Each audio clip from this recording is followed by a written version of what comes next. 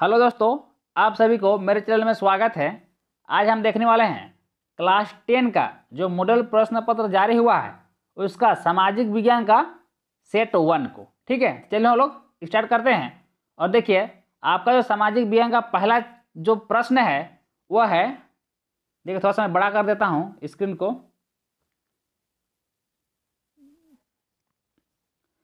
पहला प्रश्न है, फ्रांस की क्रांति कब हुई?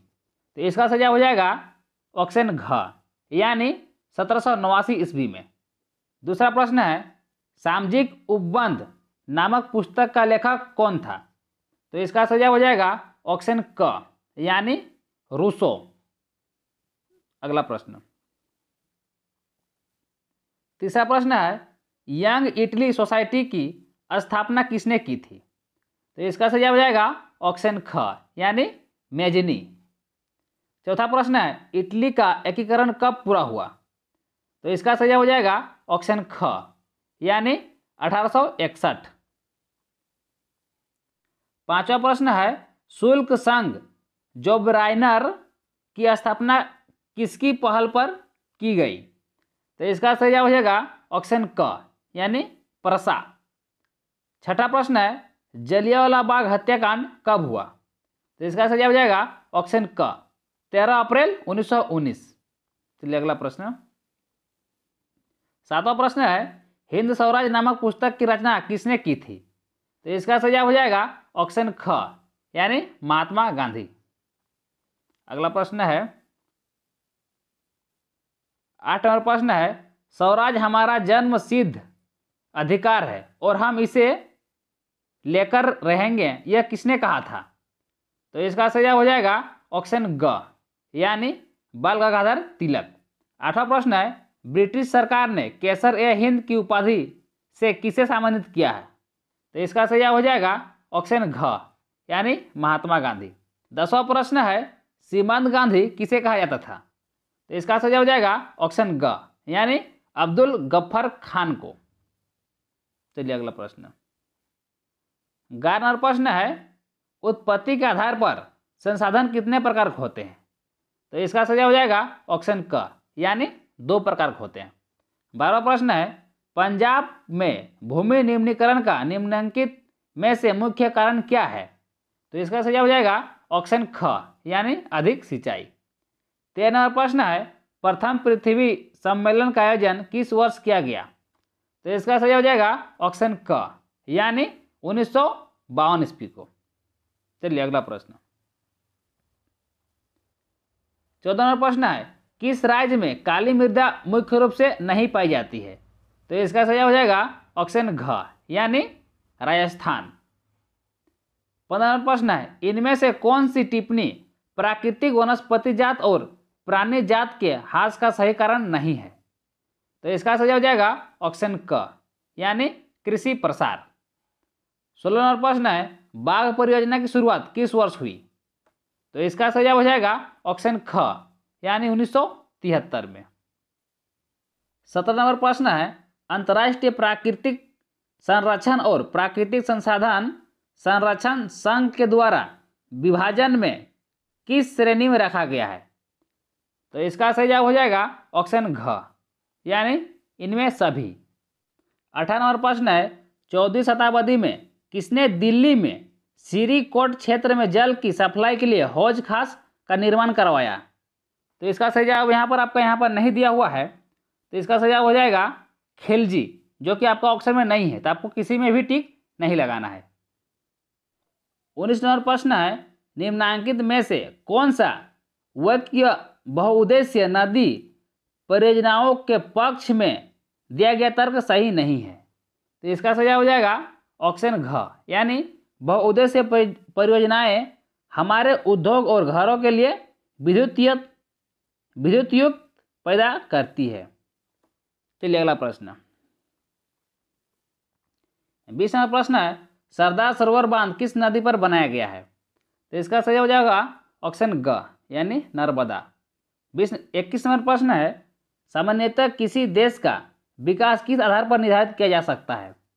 तो इसका सही हो जाएगा ऑप्शन घ यानी उपरोक्त सभी। अगला प्रश्न बाईस नंबर प्रश्न है, मान लीजिए कि किसी देश में चार परिवार है। इन परिवारों के प्रति व्यक्ति आय पाँच हज़ार है। अगर तीन परिवारों की आय क्रमशः चार हज़ार, सात हज़ार, तीन हज़ार है तो चौथे परिवार का आय क्या होगा? तो इसका सही हो जाएगा ऑप्शन घ, यानी छः हज़ार।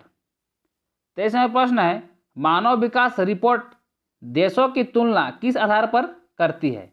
तो इसका सजा हो जाएगा ऑप्शन घ, यानी उपरोक्त सभी। चौबीस नंबर प्रश्न है, एक वर्ष में पैदा हुए प्रति एक हज़ार जीवित बच्चों में से एक वर्ष की आयु से पहले मर जाने वाले बच्चे की संख्या क्या कहलाती है? तो इसका सजा हो जाएगा ऑप्शन क, शिशु मृत्यु दर। पच्चीस नंबर प्रश्न है, वनोत्पाद का संग्रह करना किस क्षेत्र की गतिविधि है? तो इसका सही जवाब हो जाएगा ऑप्शन ख, यानी प्राथमिक। अगला प्रश्न। छब्बीस नंबर प्रश्न है, वे छात्र जो सरकार द्वारा पंजीकृत होते हैं और इन्हें सरकारी नियमों और विनियमों का अनुपालन करना होता है, कहलाते हैं, उसको क्या कहते हैं? तो इसका सही जवाब हो जाएगा ऑप्शन क। यानी संगठित क्षेत्र। अगला प्रश्न।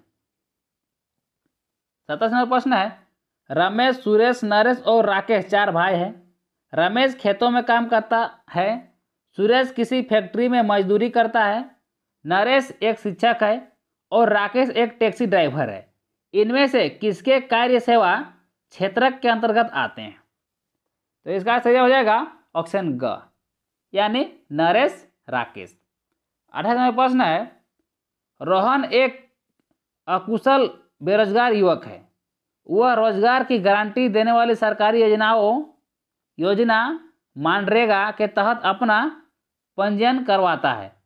रोहन को वर्ष में कितने दिनों के रोज़गार की गारंटी मिलेगी? तो इसका सजा हो जाएगा? ऑप्शन ग, यानी सौ दिन। अगला प्रश्न। उनतीस नंबर प्रश्न है एक खेत में लक्ष्मण और उसके परिवार के चार व्यक्ति काम करते हैं, जिसमें सालाना बीस क्विंटल गेहूँ का उत्पादन होता है। लक्ष्मण के चेहरे, लक्ष्मण के चचेरे भाई करण ने एक वर्ष तक लक्ष्मण और उसके परिवार साथ मिलकर कार्य किया, परंतु उस वर्ष कुल उत्पादन में कोई वृद्धि नहीं हुई। करण की परिस्थिति को किन श्रेणी में रखा जाएगा? तो इसका सजा हो जाएगा ऑप्शन क, यानी मौसमी बेरोजगार। तीसरा प्रश्न है, अर्थव्यवस्था में प्रत्येक क्षेत्र के अंतिम उत्पाद की ही गणना क्यों की जाती है? तो इसका सजा हो जाएगा ऑप्शन ख, दोहरी गणना की समस्या से बचने के लिए। अगला प्रश्न। इकतीसवां प्रश्न है, सत्ता की साझेदारी के संबंध में न्यून में कौन सा कथन असत्य है, यानी गलत कौन है? तो इसका सजा हो जाएगा ऑप्शन ग। यह अस्थिरता एवं आपसी फूट को बढ़ाती है। बत्तीसवां प्रश्न है न्यून में कौन बेल्जियम का एक भाषाई समूह नहीं है? तो इसका सजा हो जाएगा ऑप्शन ख, यानी स्पेनिश। तैतीसवां प्रश्न है, स्वतंत्र राष्ट्र बनने के बाद श्रीलंका में किसे राजभाषा घोषित किया गया? तो इसका सही जवाब हो जाएगा ऑप्शन घ। यानी सिहली।